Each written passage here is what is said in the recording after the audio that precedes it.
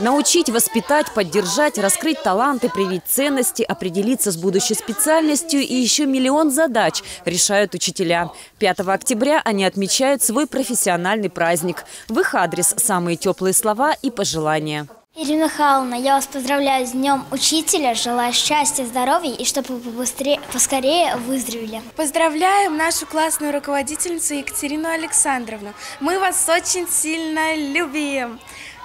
Ну а также хочу поздравить всех остальных учителей э, с Днем Учителя, чтобы у всех были успехи в работе и хорошие ученики. По праздничному поводу в Одинцовском лицее номер 6 имени Пушкина День самоуправления. Это уже традиция. Уроки проводят родители и старшеклассники. Темы самые разные. Вот у меня сегодня, например, ребята узнали на занятии о таком виде спорта, как картинг, а, насколько это опасно, травмоопасно, но в то же время очень интересно.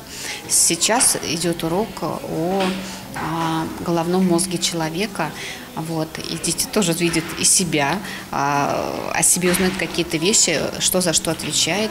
Телевидение, Радио, радио, газеты, газеты печатные кто такой журналист, как правильно задавать вопросы и не бояться камеры. Ребята попробовали себя в роли корреспондента, записали интервью друг с другом. Такие уроки для школьников – новые знания, а для родителей – возможность лучше понять и оценить учительский труд.